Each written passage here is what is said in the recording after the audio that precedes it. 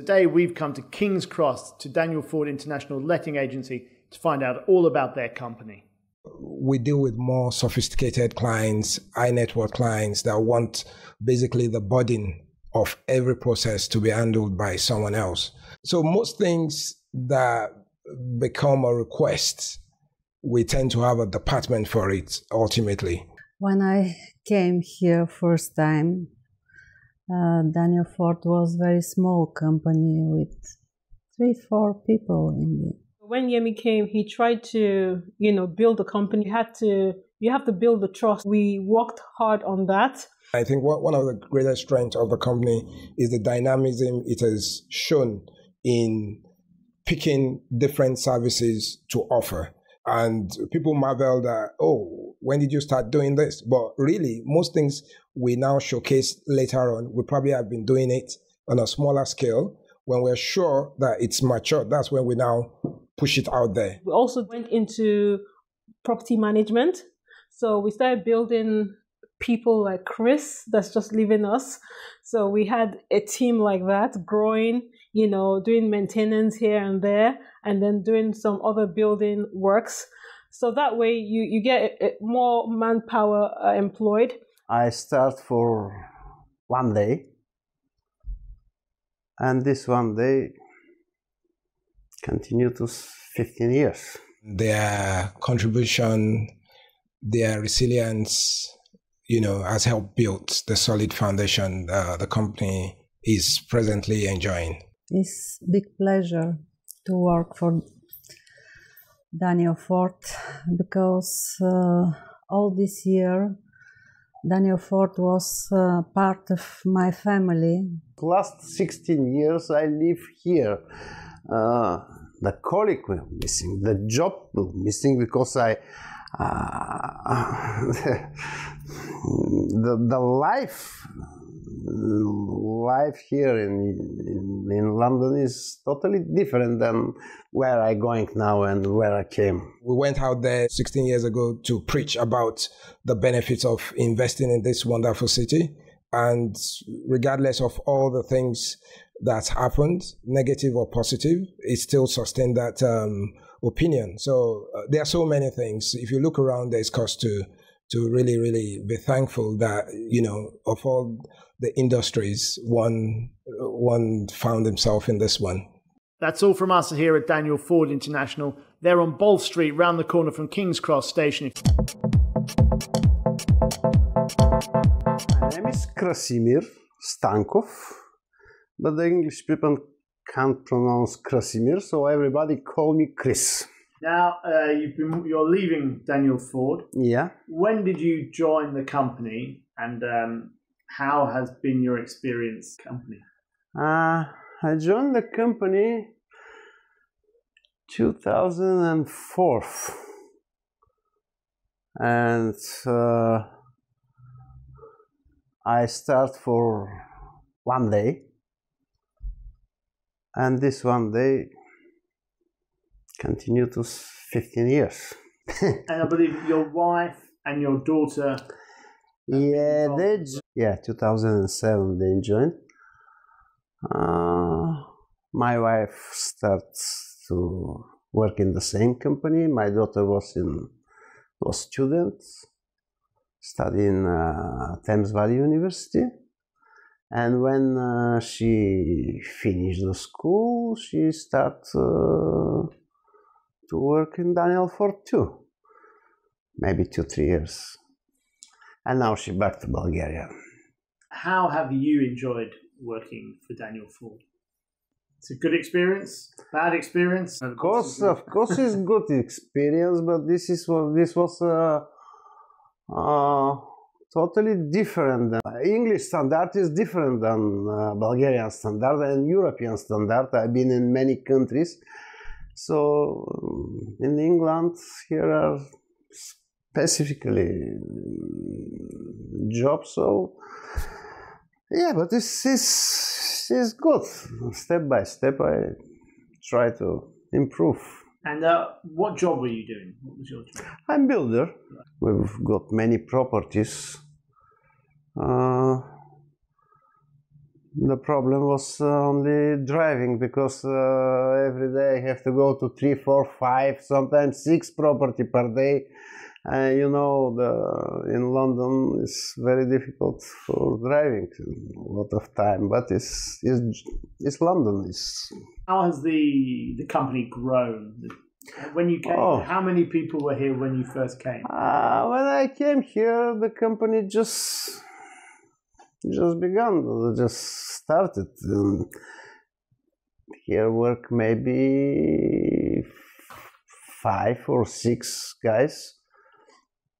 And my boss Yemi every day, every day uh, came to to see what what is done, what is not done.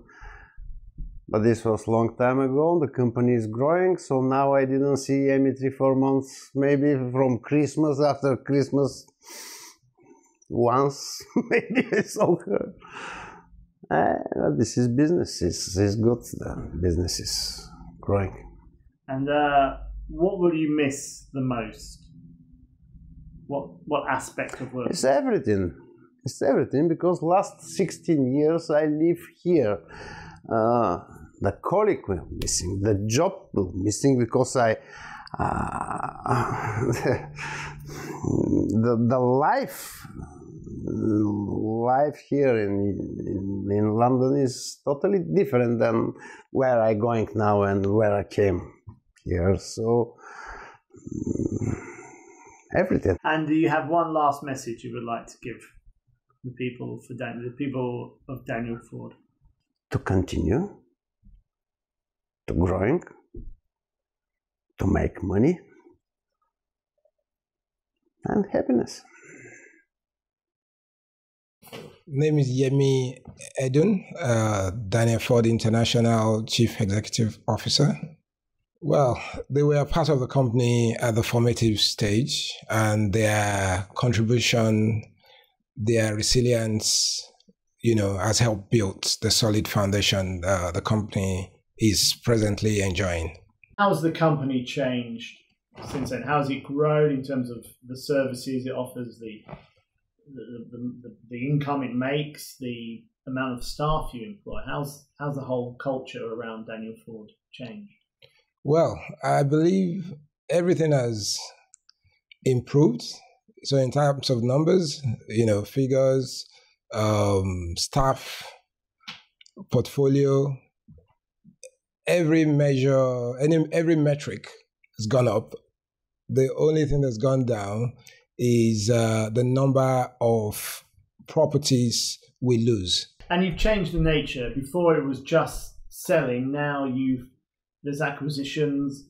How and what, what sort of things has the has the uh, has Daniel Ford International brought in uh, and developed in the in the last fifteen years? Well, the growth has been organic, and uh, basically we have reacted to the needs of our client base. You know, um, most estate agency firm are okay with um, lettings, property management, and sales, but we deal with more sophisticated clients, high net worth clients that want basically the burden of every process to be handled by someone else.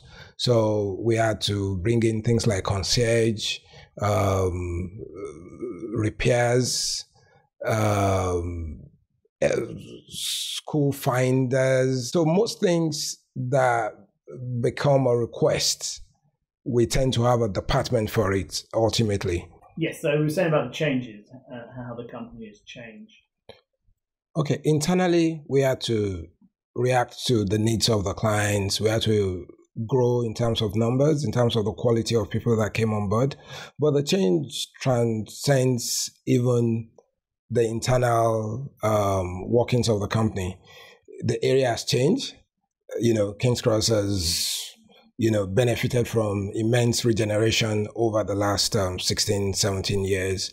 The market itself has changed as well. You know, over this period, we've we've gone through a major recession and you know various events in London, and we are we are facing another big one at the moment. So um, I believe we've been able to withstand the various changes, the ones that we have trusted upon ourselves by our success and our growth, and the ones that the general climate of the market and the and the environment has has trusted in us.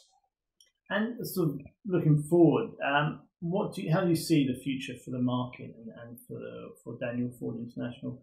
What new ideas do you have? Um, how do you see the company developing?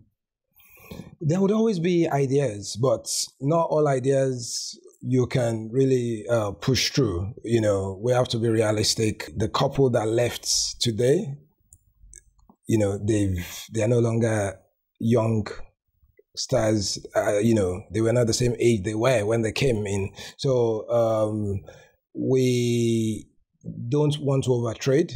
There would always be new opportunities, but we would rather, you know, you know, focus on our strength. Our strength is London. Our strength is properties and uh, associated um, things to properties. You know, so there are opportunities there, but we'll think them through if it would work for us before uh, taking a leap. And what would you say the main, almost the main principle has been over the last 15 years for, the, for, the, for Daniel Ford International?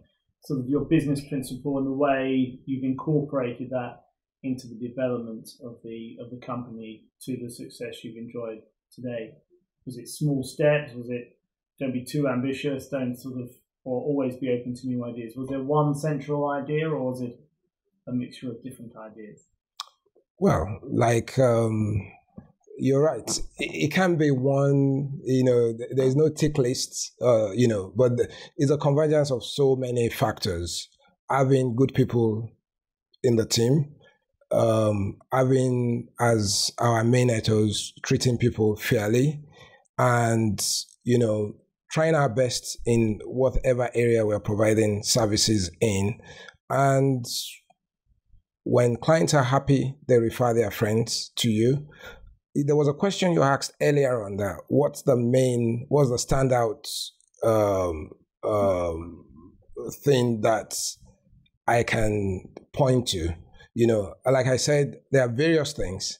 However, I think the biggest thing personally is the fact that we are dealing with second generation buyers.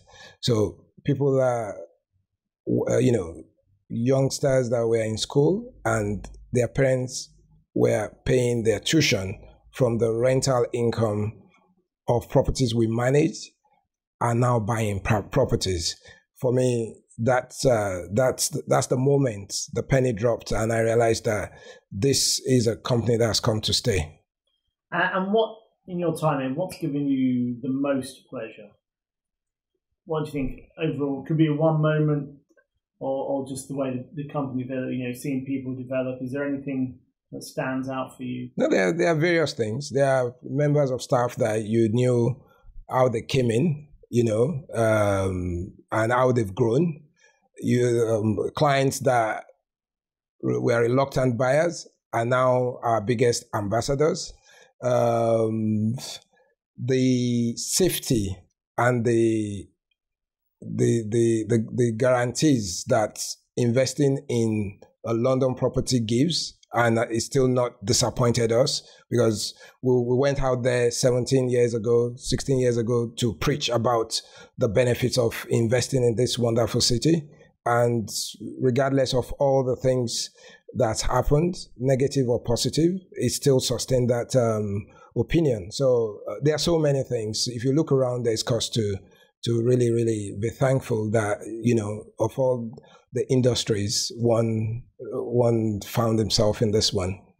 Change, eh, you know, looking at it in particular, if we reverse this day to 2003, you know, the phones were not as robust. There was no camera phone. And the staff, you expected more from the staff the, the, the rights of the staff are more entrenched now. Um, the personal relationship is less so, but thankfully we've had, uh, we had longevity of um, of a team. So with that, we understand ourselves and we've been able to to ensure that um, there are good relationships. But a lot has changed, and a lot will still change. A lot has changed in areas of legislations, um, expectations from landlords. You know, tenants have more rights, um, statutory changes. You know, there's so many changes, and we just have to keep abreast as much as as we have. You know, um, one of the best days was the day we won best um, property management company in London. The the good days. There are so many good days that you tend to forget the not so good ones. We we were just a lettings and property management company, and I was a financial advisor doing uh, mortgages, you know, and uh, life policies. Then along the line, the recession of two thousand and eight was was big, you know, wiped out a lot of companies.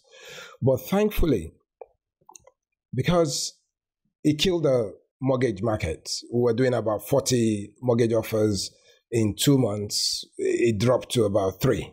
And thankfully, we, the property management aspect of things was growing. So from four properties, you know, we were close to about 100. That was able to sustain us at that point. And um, you know, when we looked at the market and realized that we could give better service to our client base in terms of acquisition, because the belief is that uh, one of the biggest investments anyone will make in life is buying a property, and the buyers were not represented. You get agents representing the vendor. So we started. We are one of the first acquisition agents in the in the country, you know, and you know, we are one of the first to come out and say we are acquisition agents. And it was tough originally because people were not used to paying someone to buy a property. But as times went by and people realized the value they were getting, you know, it built on, and there are so many acquisition firms out there. My typical day, go get home or in the office to get my emails at some point in time. But nowadays, you there's nowhere to hide. You your mails, you know, you read uh, probably equivalent of four books a week with the emails you get, especially when you have about over 30 people reporting to you. You get emails on the day. So my typical day starts around 5:30 and you can get anything from the good, the bad, or the very bad depending on what comes up in your email. It could be a staff being uh, poorly on the day. It could be a client um, needing something urgently. It could, you know, it could be anything. And you get into the office, it could be any anything. It could be when you manage a, a large portfolio, anything can happen. You know, there's there's not a lot that we've not experienced. You know, that could happen in a normal uh, course of uh, of a day. But my my day is practically coming in, having a set uh, to do list, but most times by 11 a.m. Some other things will come up, and you have to prioritize. But you have to be very dynamic. And I think what, one of the greatest strengths of the company is the dynamism it has shown in picking different services to offer. You know, um, and people marvel that oh when did you start doing this? But really most things we now showcase later on we probably have been doing it on a smaller scale when we're sure that it's mature. That's when we now push it out there you know. But regardless of what it is everything we do is still property related. First things first what is your name? Remy coker and uh, and what has your job been here at daniel ford? Um it's well from the start is evolved from being um, an admin person to start with from the very beginning then it moved up to sales. Then now we do acquisitions together with sales. So over the years it's evolved. Sounds like it. and you were the first person through the door. You were employee number one. Not really. I won't say that.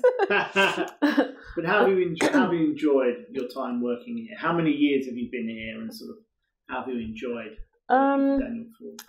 Well, I've been here since 20, 2003, 2005. But um, it's been, it was challenging at first because I've never done this sort of work before. It was basically admin. But then when Yemi came, Yemi made it more interesting for me and he got me to to enjoy the work more and learn more and want to learn more on the job because he had more experience than I did. So so yeah, so it's been good. And um, what sort of thing? How do you feel you've sort of developed? You you developed skills. You're doing different jobs. How does you think that's that's, that's changed you and, and, and helped you develop and grow? Um, to start with, with this job, you get to meet a lot of people.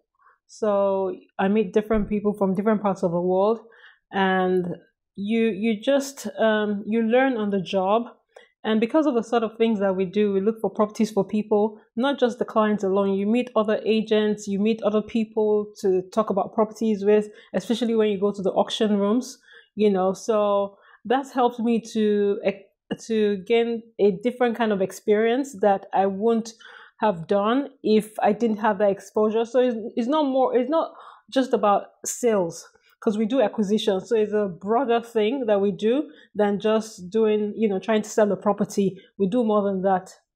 And how's the company changed? Obviously, there are a few of you to start in terms of the numbers, but also in terms of the services the company provides and how it works with its its clients and customers. So I'll say the the company has um, changed over the years. We only had few properties we were managing and we lost a few.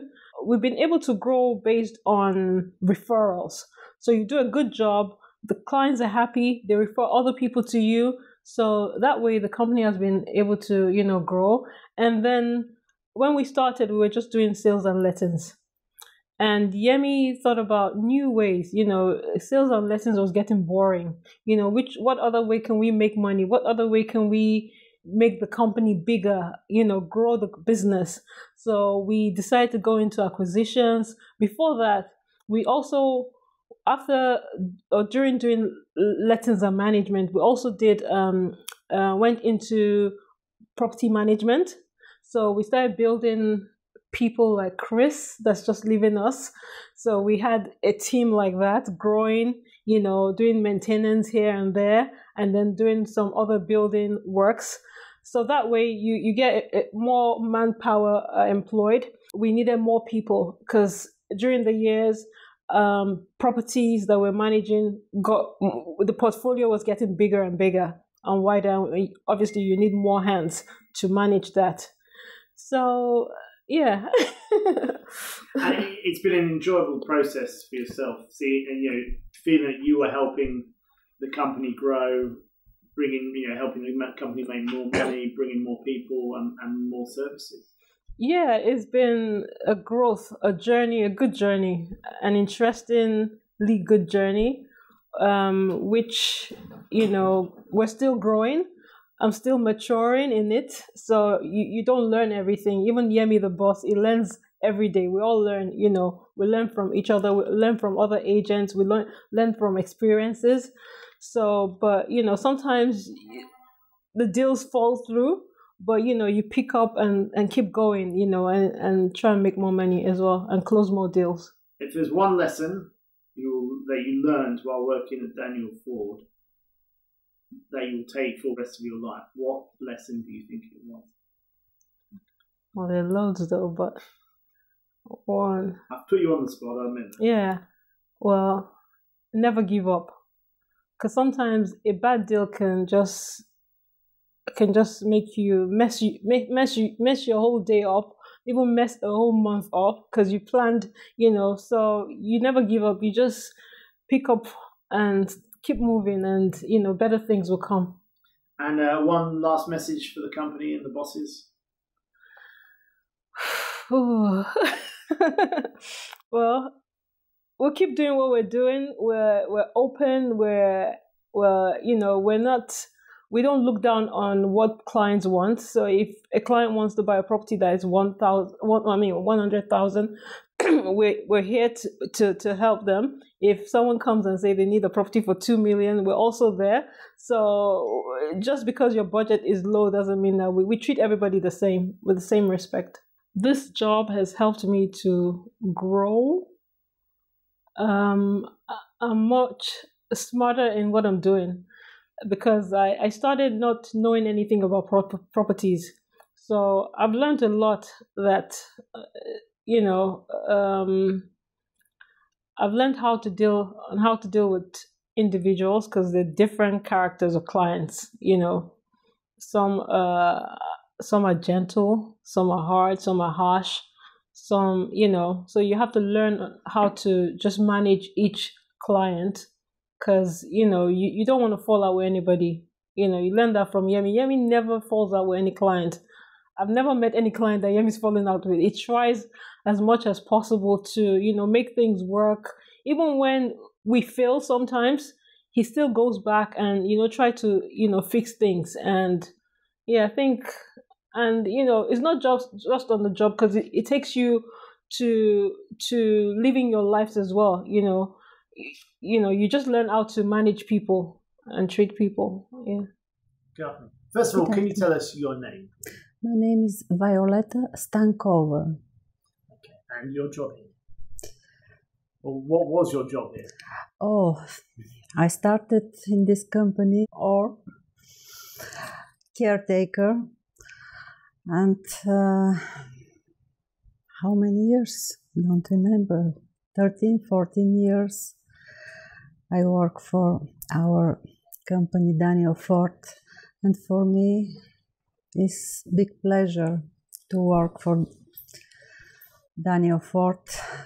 Daniel Fort was uh, part of my family, mm, part of my life. When I came here first time, uh, Daniel Fort was very small company with three, four people in the office and now I'm happy because see we are growing. Um, our clients are very happy with the service.